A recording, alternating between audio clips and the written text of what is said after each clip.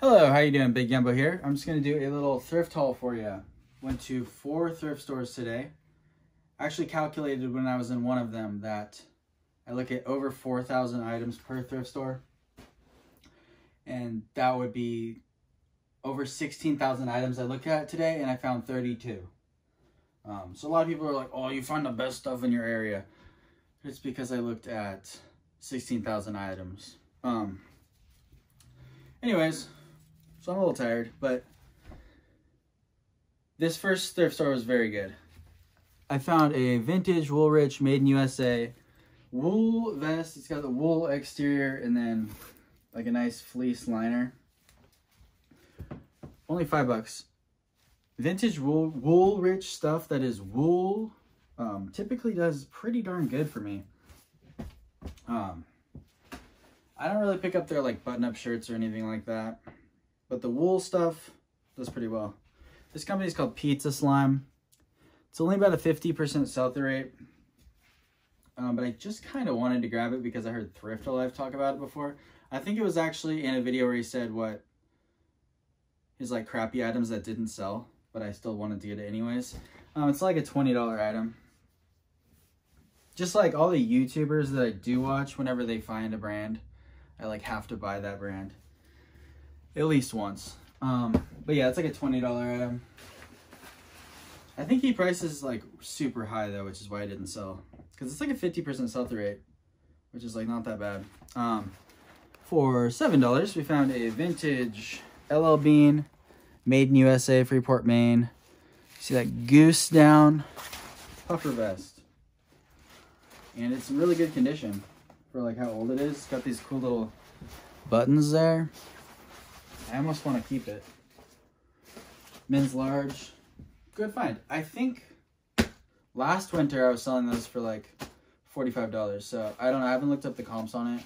But that was for non-vintage ones. So hopefully it's still around there. Katin is a really good brand. It's kind of a surf-oriented company. Um, their basic button-ups sell fine. Their Henley shirts sell immediately. Over the summer, their shorts sell really, really well for like over 30 bucks. This is like a $20 item. And I paid $6 for it. I'll pick up Katin anything. It's it's a super solid brand. This is a Tapout shirt with a Mexican themed color scheme. It was $5. It has over 100% sell-through rate. I looked up Tapout. It's also made in USA, so it's like vintage. Um, I looked up Tapout Mexico shirt. Over 100% sell-through rate. A very similar shirt has a $39 sold comp. This company is called Scully. They make Western southwestern uh, what do you call it frontier wear is what you'd call this it's kind of old-timey clothing like people that like to dress up like i don't know civil war reenactors or something only five bucks should get about $35 for this and it's over 100% sell-through rate for Scully bib shirts this is called a bib shirt when it has this bib on it and it has these nice little details this denim one should go for more like 50 though you got to look up the comps on Scully stuff. Don't pay too much up too much for it. It's um, it's very similar to Wahmaker, W A H M A K E R, but Wahmaker is way better. But both pretty solid brands. Anytime you find stuff from a similar brand or similar looking thing, like I think H Bar C might make some stuff like that as well. This is Rising International. This is what I would call a hippie hoodie. It's got like cool, weird patchwork stuff on it. I stopped picking these up for a while. And then I just started again because the sell-through rate uh, went up a little on them. Not quite 100% um, for women's large Rising International hoodie, but the prices were really good. I find a lot of these. Anchor Blue baggy jeans. These ones are uh, the Beyond baggy. And yeah, I price them anywhere between 30 and $50 right now. These were seven. Um, over the summer, they sell a little worse. And the Anchor Blue baggy jean shorts sell a little better, but This is a super good find because I found like three pairs of them. These ones are called the Big Baggy. Also seven bucks. All in pretty good condition. And you can get away with condition issues on these. Because um, it's like little skateboard teenagers are going to buy them. Also good sizes too. Small waist, long inseam. Just like my favorite type of size to find. A lot of people who sell like squishmallows and Barbie dolls will try to tell you that big waist, like size 42 jeans are the best. They're not. They're like the worst to sell. Um, if you find a pair of double front Carhartts that are like 3230, they'll sell instantly. If you find a pair of double knee uh, Carhartts that are size 4230, you're waiting like a month. Uh, that is Woolrich. Sorry, I'm looking at the reflection in the camera to see what it is. It's a vintage Woolrich vest. Actually made out of wool, which is cool. And it's kind of that same frontier wear style where it has the little, um, some damage on there. Should be fine though, whatever this is called. Like a cowboy would wear it. And that's a pretty cool tag there, actually. I never seen that one. And then I found these vintage Levi's. I love selling vintage Levi's. I find them every single day, but I don't pick all of them up. Because not all of them are that great. Uh, these ones, I believe, are 70s or 80s, though. I only know how to read the 90s tag, unfortunately. I don't know how to read this tag. So what I'll do is post a picture of that in the Levi's Denim Research Group on Facebook. And those people are like obsessed with Levi's and they will know. These ones are the 517 2017 and a size 3830. So not a great size, but and they also have like a gold tab here. Um, yeah.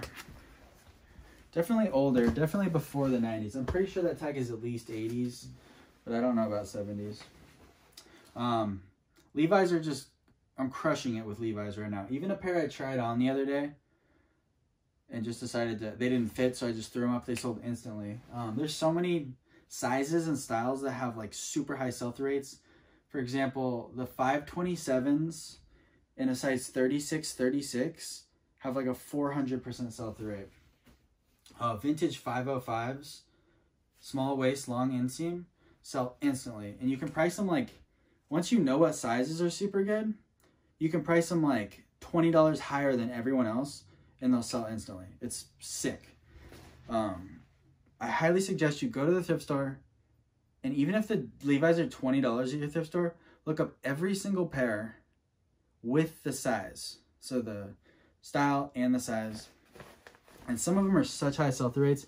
And if you just go crazy on those high sell-through ones and like price them way up, people like think it's more special and they send you a reasonable offer. Just some 511 tactical pants. 100% sell-through rate on 3430 511 tacticals. Paid $8 on each of those. For all the 511 tactical stuff, it's super size dependent. Did not look up the sell-through rate on this Robert Graham shirt, but I got it because it has a like paisley pattern and paisley stuff just flies off the shelf. Even crappy brands. I picked up two Alan Flusser shirts the other day. Alan Flusser sucks.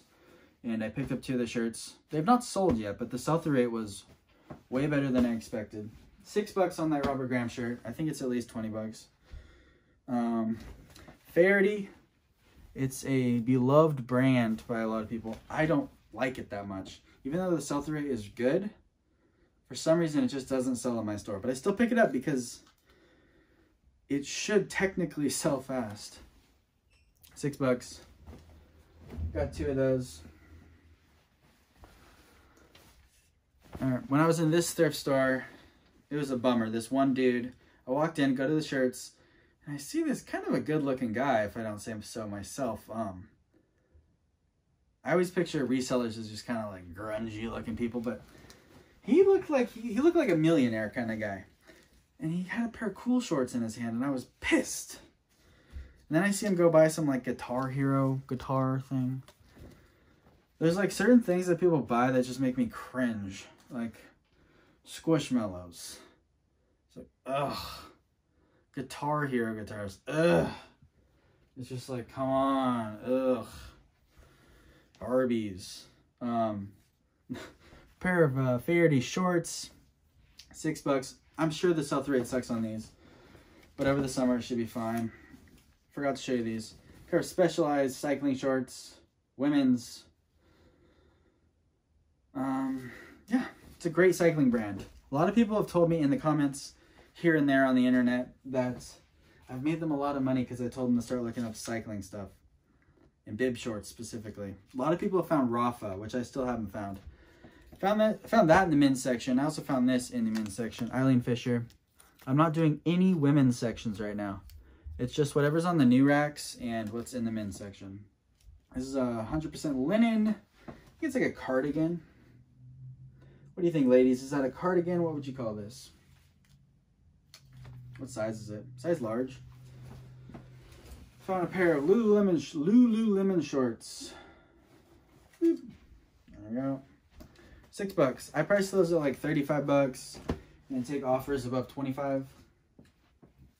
I'm not picking up any Travis Mathew polo shirts, any RLX polo shirts, any FootJoy polo shirts, any Nike polo shirts, any golf polo shirts right now because the sell-through rate all sucks and I have to pay seven bucks for them, six or seven bucks in my thrifts.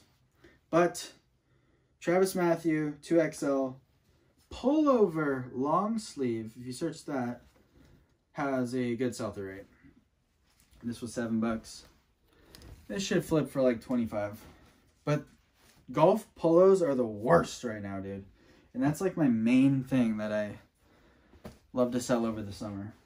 And it just sucks because I'm going through the rack. It's like Travis Mathew, RLX, blah, blah, blah, blah, blah. FootJoy, FootJoy, FootJoy, uh, uh, Nike. And there's like so many of them, and they're like, even like some solid sizes. But I looked up um, Travis Mathew XL Polo today, and it was not good. And all the oldest items in my store right now are all polo shirts. I did like an inventory.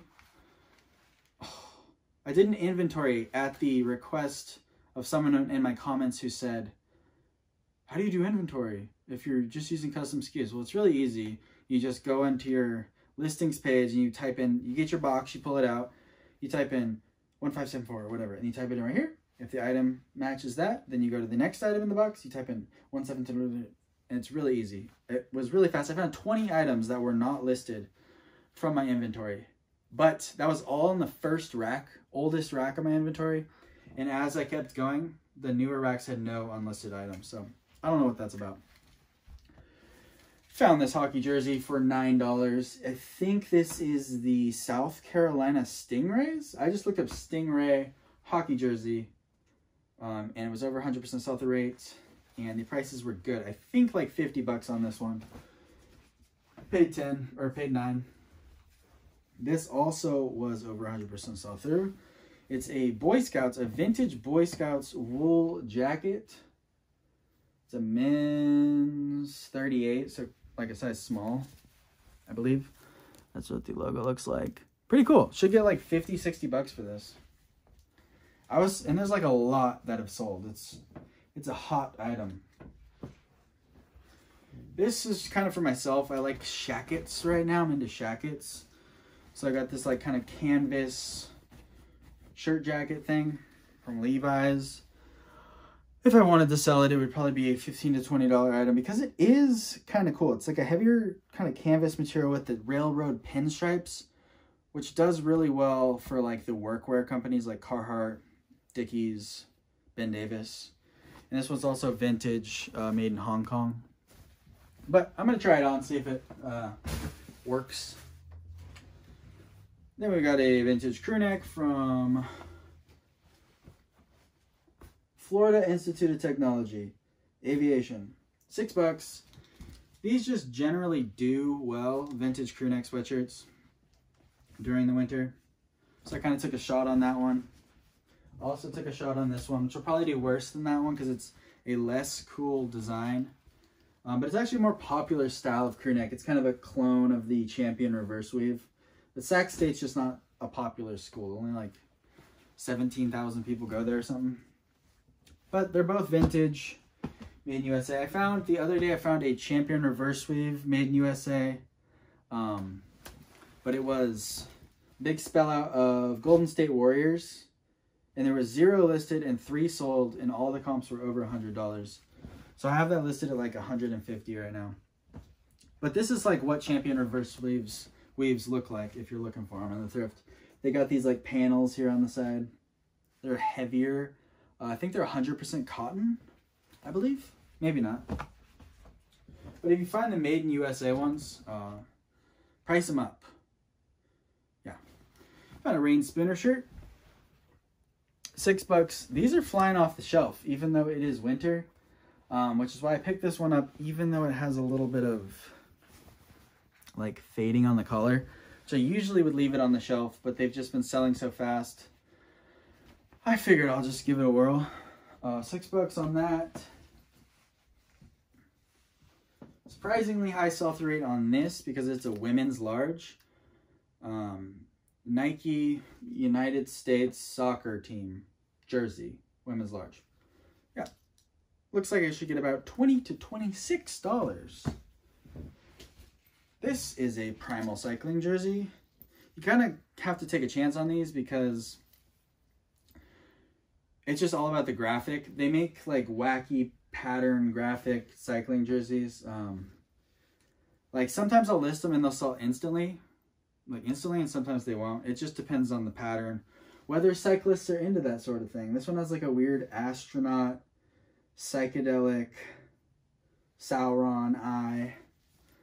Um, is that Sauron from the Lord of the Rings? And it has like a little skull inside of there. I don't know. Don't get them if they have like First Union Bank, Wells Fargo, uh, the Afternoon Bike Club, like all kinds of like logos all over them. Just in general, cycling jerseys don't sell that well when there's like third party branding all over them. Just want like solid big graphic junk you know? 511 tactical 2XL button up shirts have a high sell through rate. So I grabbed it for six bucks. Probably like a $20 item. And last but not least, um, some Boy Scouts cargo shorts for six bucks. I list them like over $30 and take over 25 for them and they sell pretty quick. I mainly just get the adult size ones. I don't really grab any children's size Boy Scout stuff. That seemed like a pretty short video. Uh, let's, because that's my last item for today. Let's see what the time is here. 17 minutes. I could probably push it to 20. I'll pull this stuff down from my uh, steam pile. I need to steam this stuff. Or maybe it's been hanging long enough that it's not really wrinkly anymore. I am still picking up the Peter Millars they sell slightly better than all the other ones. I the surprising one about the golf polos is that RLX doesn't do good. There was a period where RLX was like the best, um, but Peter Millar's, if you price them at like twenty bucks, you can still sell them like relatively quickly. These are some cool vintage shorts that I found at the bins. They have like cows on them. I tried them on. They were just a little too short for me. I couldn't find anything on this brand. It's called Mad Cat or Mad Cows from Cape Town. But this is the sort of junk I buy at the bins, which is why I don't like to go to the bins because this will probably be in my store forever. It's cool and this probably will sell for like 15 bucks eventually. But all that stuff I showed you earlier is probably going to sell within the next month. Here's a bolo for you. I found this brand several times. It's called Koala Tree. Um, I believe these are men's, but these are called the Trailhead Adventure Pant. Look it up. I don't remember what the sell-through rate is on them. It used to be super good, but the prices are like fifty dollars. So I'll be getting like fifty bucks for those. A Lululemon button-up shirt. I sell these all day long. I find them all the time. I think people just don't know they're Lululemon because there's like zero branding on it. It's always going to be right here on the side. Yeah. I didn't look this up when I found it. But this brand has never done wrong for me. Uh, Howler Bros. They're kind of like hiking pants. Probably should have looked them up, but I was just really excited and didn't look them up, but I'm sure it's good. A Reyn Spooner shirt with hot rods. Oh no, sorry. Yeah, I would call it a hot rod shirt. I think this one's probably rayon. Spun rayon, size XL. This is all stuff I found yesterday. A HUK. I already popped the tags. I don't remember what I paid. A HUK performance fishing shirt with the uh, new tags. It was 45 bucks originally. It's pretty good. Another Robert Graham with uh, it's got like little uh, little football dudes on there. Cool enough. Another Frank and Eileen from the men's section. I don't know why these are always in the men's section. Like clearly this isn't a men's shirt because it only buttons up to here. But that's what's great about the Goodwill. Like the employees are. Um, and then we have a Roark Revival flannel shirt. Roark, Roark Revival is sick. It's like, it sells similar to Katin for me. Similar to Katin, similar to, what's the Kelly Slater brand? Outerknown. It's uh, maybe a little worse than that, but if you price it around $20, it sells pretty fast. This one's a little worn. Probably get like 15 bucks for that. Oh, this is a banger. Wait, I'm missing a bag here.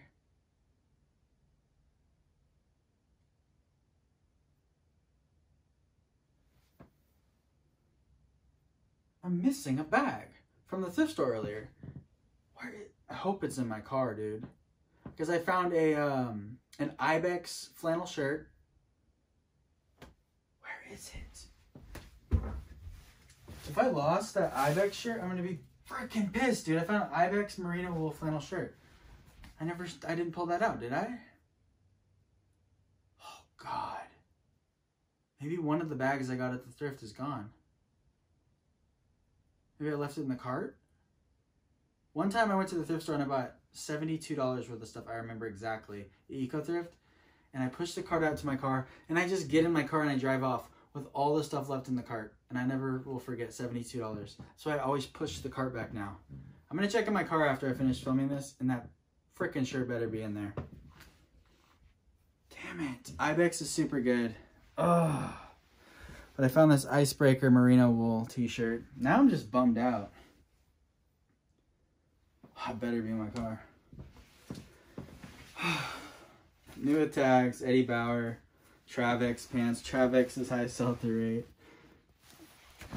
For their pants, they sell super fast. Those are new tags, so it's even better. Under Armour golf pants sell super fast. Just price them at like $25 accept reasonable offers. Just a pair of Athleta, like jogger pants. Should be fine, like 20 bucks. And this one was actually one from my old inventory. Let's see. That wasn't listed for some reason. It's a new with tags uh, Anthropologie corduroy skirt or skirt for $78 originally. I gotta iron it because it was folded up in the inventory so long, the buttons like made these dimples, which is irritating me. So yeah. All right, well I hope I find that shirt. And there might be like way more stuff with that shirt that I just can't remember buying. If I left it in the cart, I'm gonna be beyond pissed. Anyways, because I don't even know how much stuff I lost. It could be more. I don't, because I remember looking, when I pulled my bags out of the car, I looked again in the car just to double check to make sure I wasn't leaving any bags. Okay, so.